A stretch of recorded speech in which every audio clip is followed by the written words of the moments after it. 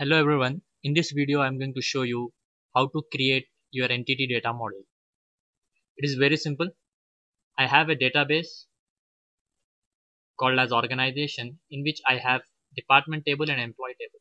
This is the database on which we have been working in our past ASP.NET tutorial as well as ADO.NET tutorial. And I'm going to use the same database and we are going to work on entity framework. So in this table I have department ID, department name, HOD and gender in which department ID is primary key. And in employee table I have employee ID, employee name, employee salary, gender, date of birth and department ID which is foreign key from department table. How to create your entity data model EDM which is the heart of your entity framework and it is very simple I'll go to my project I have created a project called as entity framework part 1 I'll right click on this and I'll go for add new items. And from this I'm going to select ADO.NET entity data model. And I'll name it as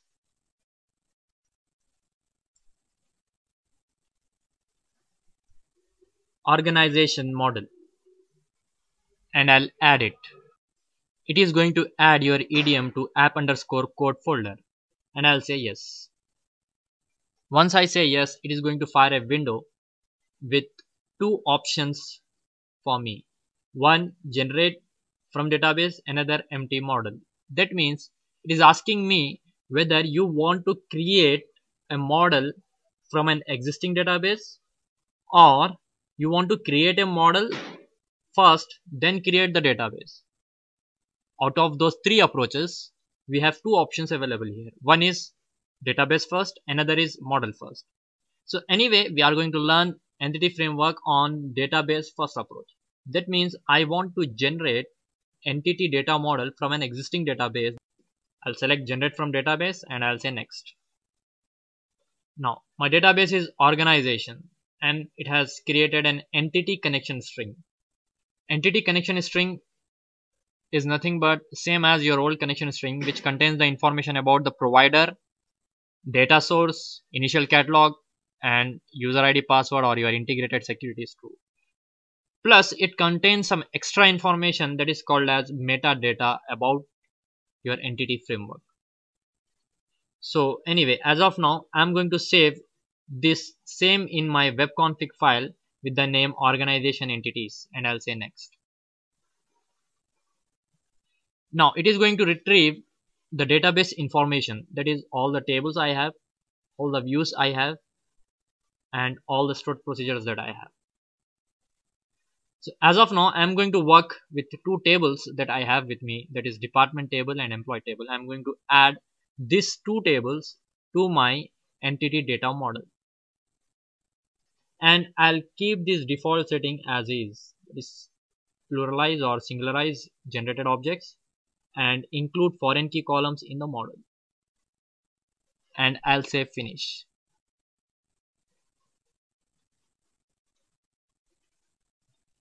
So here is my entity data model. As you might have seen in a single department I can have n number of employees. So we have one to many relationship. And all the columns that I have in my database they have turned into the properties. And for employee table same I got all the properties. There are two extra properties that we have that is navigation properties. We call it as not navigation properties. That means whenever I have relationship between two tables it gives me a property using which I can navigate from this table to another table. that means if I am if I am in department table and I want to navigate from department table to employee table I can navigate through the navigation property that is TBL employee in the same way if I am in employee table and if I want to navigate from employee to department table I'll be using TBL underscore department that is navigation property so this is my entity data model. Now I'll do one thing. I'll right click on entity data model and I'll say open with XML editor. and I'll say OK. Say yes. So this is the XML file that is generated for entity data model. And let us have a look into this file and let us see what does it contain. It contains a tag called as runtime and another tag called as design this designer tag contains some UI related to our entity data model. That is, we have seen two graphical images of two tables. So this is all related to that, which is not very important for us.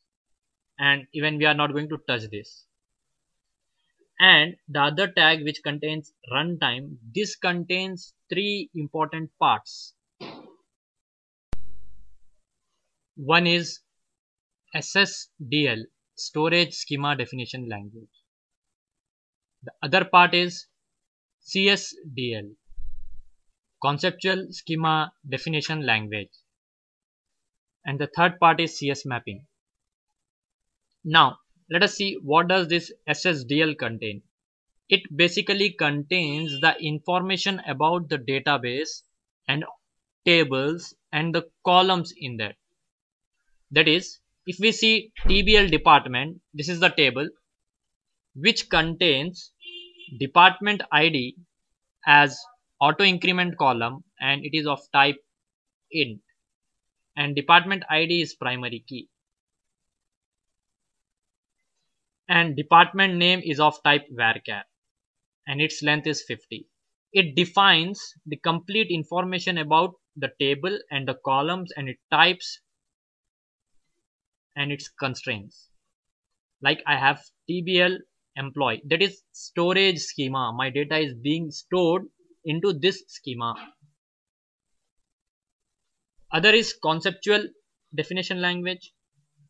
It is nothing but the information about the properties for each table and each column.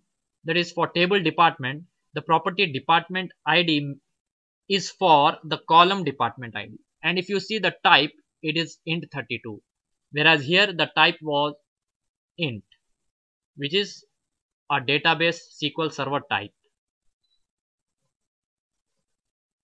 And this is a C sharp CLR type. Same way department name is of type string. Earlier it was varchar. That is I will have in this one property for one column and this mapping is done in CS mapping content. If you observe, the scalar property department ID is mapped to the column department ID, column name and property name. Department name is the property which is mapped to the column name department. In the same way, HOD is the property which is mapped to the column name HOD. So this part is called as CS mapping.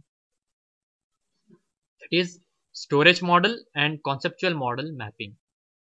So at runtime, your CLR is going to generate three different files for this runtime tag. That is one for storage schema definition, another for conceptual schema definition, and one more for CS mapping. So it is basically very simple. You have a table and an equivalent class for that. You have column and an equivalent property for that in the class. And if you have a foreign key then you will have an equivalent navigation property. If whenever there is a relationship between two tables then you will have navigation properties in both the tables. So this is your entity data model. So it is very simple you need to right click and add your entity data model. Now, if at all I am going to change any field in my database, let me go back to the database. I'll explore organization DB and the table. I'll right click on the department table and I'll move for designing the table. And I'm going to add a flag called as active of type bit and I'll say allow null and I'll save this. In our earlier models, like if we are working with ADO.NET, if we create data set and if we add a column in the database or if we make some kind of updates in the database, it was very, very difficult to reflect these changes back to our schemas or in the dataset. Whereas here it is very, very simple.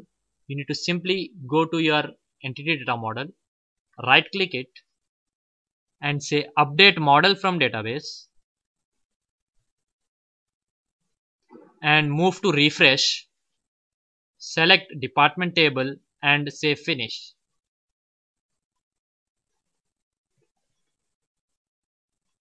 it has refreshed the entity data model. And if I save this you can see that there is a property called as active which got added automatically. So it is very simple for us to update the models whenever there are some changes in your database. So this is how we create entity data model. In our next video we will try to explore the CS file that got generated whenever we create an entity data model. Thank you very much.